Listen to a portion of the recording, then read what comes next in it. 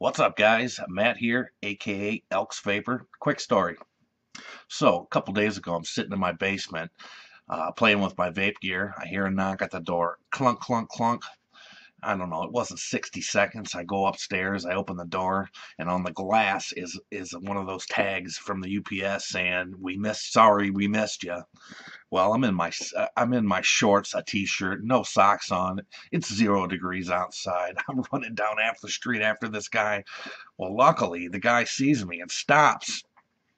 Now, it, it's my vape mail, and it's one of those that you have to sign for. Well, I'm glad he stopped. Um, we kind of got a chuckle out of it. Um, but I did get the new Stingray mod by JD Tech. Uh, this is out of the Philippines. Okay. This is a 22 mil device. Now this thing is absolutely gorgeous, stunning. It's a copper tubing with a uh, black uh, chroming, if have you, um, over the top it does use all of the 1800 series batteries. You can kick it in an 18350 and an 18490. Okay, I paid $199 for this from a company called VapeUpUSA.com. Now, apparently, uh, just a few days later, after I did get it, they are sold out and they have removed it from their inventory sheet. So I'm sure if you look hard enough and close enough, you can find one out there. Okay, it did, come with a matching drip tip.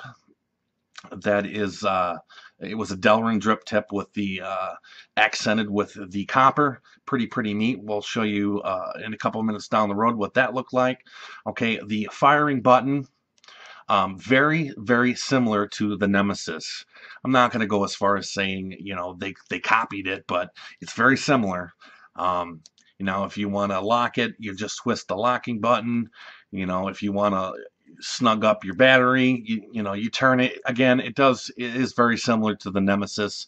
You can make your own opinion there. Now, let me take a quick vape. We'll dive down and we'll check this bad boy out.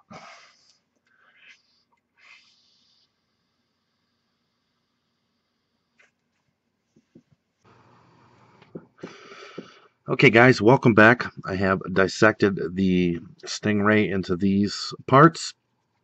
Okay, first we'll start with the drip tip they have added in to the package.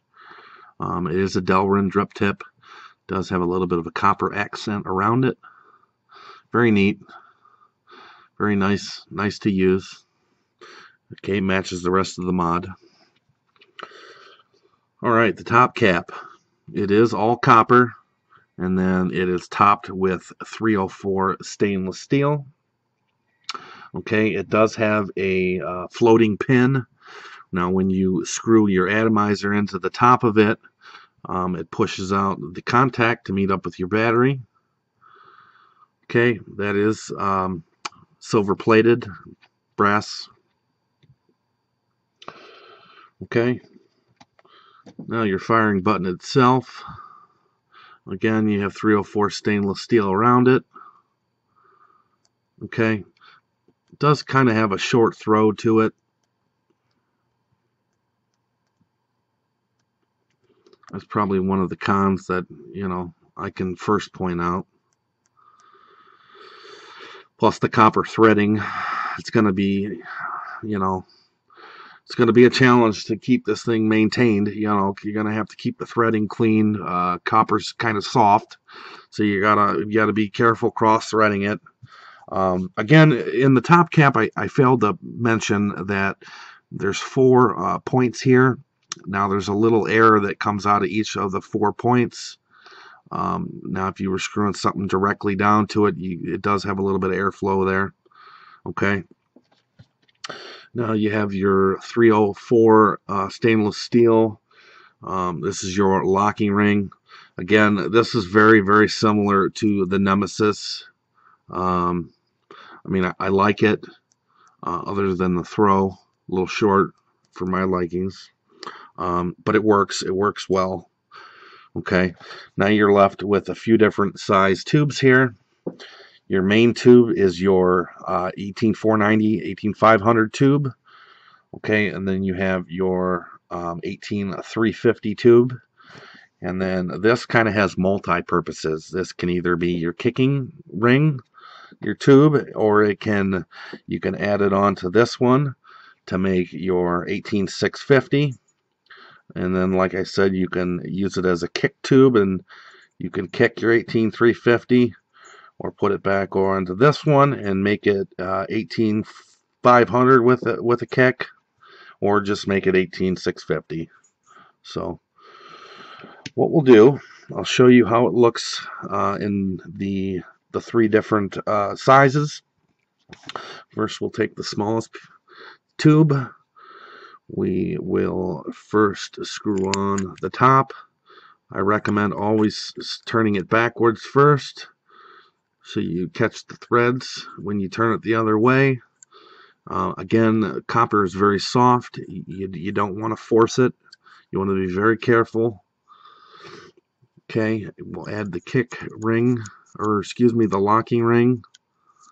Um, over the course of time, I think you're going to find, you know, I, I've only been using this a few days, and you can already see, you know, they call it a a chrome a chroming. I would almost call it, a, you know, a painting. You know, this is going to wear off. Uh, and that's probably another one of the the cons that I can that I can mention right off the get go. Um, this is one of those that I'm probably not going to use and take to work and you know take out with me every time I go out. This will be a special occasions mod, um, just for the, the, the fact of keeping it uh, you know looking nice. Okay. Got that screwed on. Now we'll screw on the the firing button.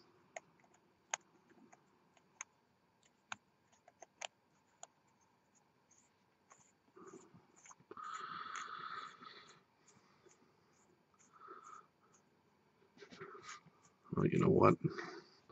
Let's put a battery in there so we know where it stops. Alright, put the 18350 in there. Screw the top back on. They're very easy, don't force it. Okay, now like the Nemesis, this is what controls to your snuggage your battery. And then you can, as you can see, the throw is just really, really small speaking of small, this thing, I mean, it's tiny. Absolutely tiny. Probably the smallest 18350 device that I own, maybe even that I've seen to date. Uh, pretty neat though. For those of you that like really, really small, uh, this is going to be for you. Just a stunning device though. I mean, just look how the the copper, you know, pops through that black. It's just it's just absolutely amazing. Okay, that's 18350. So we'll take off first we'll take off the firing button.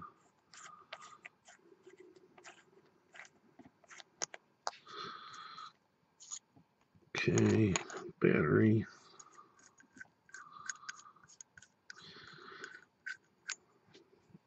Okay, Again, both of the main tubes are serialized here at the bottom. Let's see if I can get this in better focus, guys. This is number 440. Now, both of them do have the serialization on the back. Okay.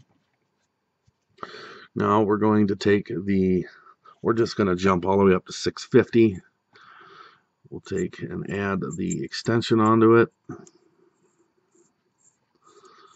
Adding that to the 49500 tube.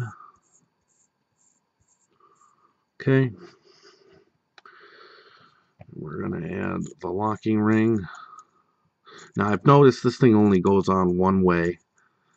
Um, well, I got lucky this time. It went on that way.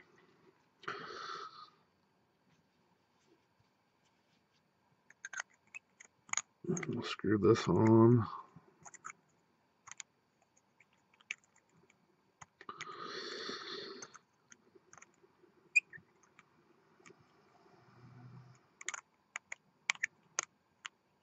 just being really gentle because I don't want to cross thread it and ruin it right away.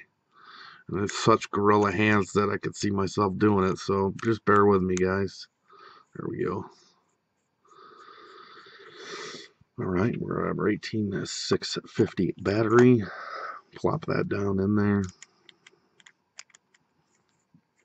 Okay, screw the top on. Snug up the battery. And that's what she looks like. Absolutely a stunner, guys.